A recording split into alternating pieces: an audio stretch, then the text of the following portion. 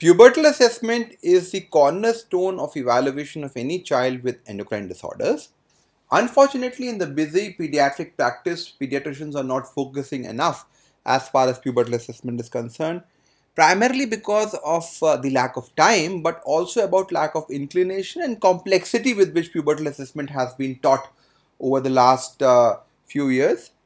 It's very important to understand that there are few key points which needs to be looked into pubertal assessment and if we have a quick assessment we can reasonably make sure in terms of pubertal status so as to decide about the line of management and therapy which can be guided from that perspective. So we'll begin with the breast staging for girls uh, which is the most important aspect for evaluation and we are all aware about the five stages starting from prepubertal breast development to papilla elevation to primary mound to secondary mound and finally the adult form. It might look complicated, but I would say that there are just two stages which have to be really looked into in a girl when the breast development is being assessed. It's stage 2, which indicates that the papilla has started to elevate. And uh, this means that there is a time when growth spurt is starting to happen of around 8 to 10 centimeters per year. And from here till menarche is typically 2 years. And the growth will be around 5 to 8 centimeters beyond menarche. It's very important to differentiate lipomastia from breast stage 2 because obesity is becoming common and many girls are now being referred with complaints of breast enlargement when it's actually lipomastia. The best way to look forward is actually to put a thumb and finger around the areola and bring it closer. If there is a point of resistance, it means that there is uh, uh, definite breast nodule or thelarche has happened. If there is no point of resistance, it's indicative of lipomastia wherein no progress has happened in that regards. Identification of breast stage 2 is important because it would mean that now the girl would roughly have around 25 centimeters to grow while at menarche it will only be around 5 to 8 centimeters. So if you have a girl at 12 years of age, height is 130 centimeters with just breast stage 2 you can roughly predict it will go around 155 centimeters while if it is uh, at menarche the child is going to land up uh, only around 135 centimeters. So we need to be really really concerned. The second aspect to be evaluated very carefully is the formation of the secondary mound of breast stage 4 which means that menarche is impending and one needs to be very careful in terms of assessment the other issue which is often encountered, which is a physiological variation, is the asymmetry as far as breast development is concerned and this is very common approximately 30% of girls would have some discrepancy which may persist for a few years and even remains in adulthood.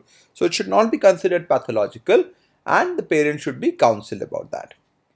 The other important thing to remember particularly in terms of uh, the evaluation of causes of pubertal disorders is the difference between thelarche and menarche which is typically 2 years but in hyperandrogenic states it may so happen that there could be sudden spurt of estrogen and with very soon after breast development periods of vaginal bleeding may happen. This discordant pattern of puberty goes against the diagnosis of central precocious puberty and should indicate a hyperestrogenic state like a ovarian cyst hypothyroidism or McCune-Albright syndrome. What about pubic hair development? And uh, we all know that stage, uh, this is largely driven by the adrenal glands and therefore DHEAS elevation is usually associated with pubic hair growth. Usually pubic hair development is commensurate with breast hair development but there could be a discrepancy. It may precede, happen simultaneously or may follow plus minus 6 months to 1 year as far as development is concerned. And in the first stage, there is no difference between the abdominal hair and the pubic hair. Starting of vellus hair marks the stage of pubic hair 2. Then it tends to spread with more pigmented and sexual hair appearing with gradual progression to the light to the lateral side leading up to mid osteon and finally we have the adult height pattern. Pubic hair growth axillary hair growth and axillary odor are indicative of what is known as adrenarche. And as I said, adrenarche and thelarche usually are commensurate. But in individuals who have particular disorders, particularly in the setting of adrenal hormones like uh, congenital adrenal hyperplasia or exaggerated adrenarche, they will predominantly have just these developments and not have breast development. Small for gestational age babies who are having rapid catch up are now having increasing tendency of precocious adrenarche, which is a forerunner of the metabolic syndrome, insulin resistance, uh, polycystic ovarian syndrome. So if you have a young girl who is having pubarche around 6 to 7 years of age, is not very tall for that particular age, was SGA at birth, had a rapid catch-up growth, one needs to be really concerned about the lifestyle of that girl, not only about the height outcome, but also about long-term complications which may happen subsequently. What about the radiological changes? Then a basic understanding is absolutely essential. The first and the foremost change which happens in the radiological appearance of a girl with puberty is the change in shape of uterus from a tubular structure to a globular structure in which the corpora to cervix ratio is increased. Normally girls should not have any endometrial lining. So if there is any endometrial stripe which is present, it is significant. Stripe of more than 3 mm means there is significant estrogen exposure and more than 5 mm means that there is a impending menarche.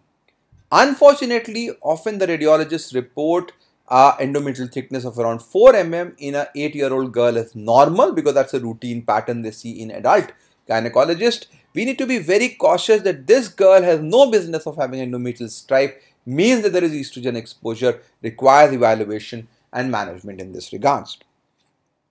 Another big source of confusion which happens as far as ovarian imaging is concerned is that these girls because of the FSH predominant response have multiple small cysts which are located around the ovary, throughout the ovary and what is known as the multicystic appearance of ovaries and this is often confused with what is known as the polycystic ovarian syndrome in which there are large cysts which are peripherally located. So you have a typical girl around 12 to 13 years of age who has probably just entered menarche, would have some physiological hyperandrogenism, acne, hair growth, uh, concern about that, slight weight, goes to a radiologist, they do an ultrasound and it shows that there are multicystic ovaries, reported polycystic ovarian appearance, diagnosed as PCOS and labeled for life. So it's very important to really identify when somebody is reporting as polycystic ovarian appearance, which is 20% of the general population, whether it's actually polycystic or multicystic, and that we are not over diagnosing polycystic ovarian syndrome in that setting. These are the cutoffs which can be used as far as the uterine parameters are concerned, as far as length for different ages, volume, ovarian volume, and these are quite useful when we are really looking at and interpreting the caution because often they would say the reports are normal for size and age, but we need to really interpret as far as the reference ranges are concerned. What about the endocrine changes? And we know that gonadotropins are the first uh, to increase. And in this regards, if we look at the two gonadotropins, it's the LH, which is a much better marker as far as pubertal development is concerned because it shows at least two to three times increase as far as pubertal stages are concerned while FSH tends to rise very quickly and may be high. So if there is one parameter which we have to look for precocious puberty, it is the LH level and uh, both these parameters are secreted in a pulsatile fashion so therefore should have a pooled assessment of these parameters and a high estrogen level will obviously indicate precocious puberty. However, the word of caution about estrogen because estrogen assays usually particularly in the lower limit of their sensitivity are not very good. So they often will cause more confusion and the best marker to look at estrogen status of a girl is not really estrogen levels, it's actually the color of the vaginal mucosa which can be assessed by asking the girl to lie in a supine position and by spreading the legs and spreading the introitus and if we see the mucosa if it is pale and glistening it would mean that there is estrogen exposure which is there while if it is red it indicates that there is no estrogen exposure or it's prepubertal. LH is the best marker. If the levels are more than 0.6, it means that the girl has entered puberty. While if it's less than 0.1, it means it's prepubertal. In case of confusion, we can give GnRH analog and see the stimulated levels which will give us an idea about the uh, actual situation in that regards. So we have this six-year-old girl whose height is 124 centimeters and we can see the breast development is quite significant. It's around breast stage 3 to 4. She has impending menarche and therefore urgent action is required. What about boys? And in boys, the single most parameter to look at is actually the testicular volume and it is a testicular volume of 4 ml which means that the child has entering into puberty and this is the time that we need to be aware of. When the testicular volume reaches around 10 ml, that is the time when the child is going to have really a growth spurt and at this point of time, if a child is short, we can really ask them to observe for some time because the child will subsequently grow from there. Testicular volume is assessed using a orchidometer and we have from prepubertal to testicular enlargement increased penile length, thickness and adult form and orchidometers are readily available which provide beads which can be compared to the size of the testis and once the levels go beyond 10 ml it indicates the child is going to enter puberty. So if you have a boy who is short at 13 years of age but his testicular volume 2 ml don't worry 10 ml wait for 6 months the child will grow but if it's 15 20 ml do not wait there is something wrong going on with that child needs, needs evaluation. So when do we need to be concerned about pubertal development? Any development of breast or pubic hair before 8 years of age is considered to be precocious in girls. If there is no development by 13 years of age, it is considered to be delayed puberty.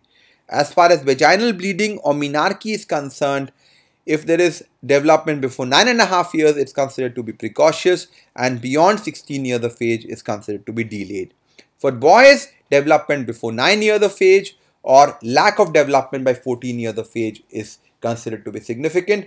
One needs to be really careful about these margins because girls often tend to present with early puberty when it is not really early at around 8 and a half and we should not really overdiagnose but we should also not miss. And boys often present around 12 to 13 years of age with concerns of delayed puberty and if we do not uh, look into the actual age and criteria we would be overdiagnosing and unnecessarily evaluating these individuals.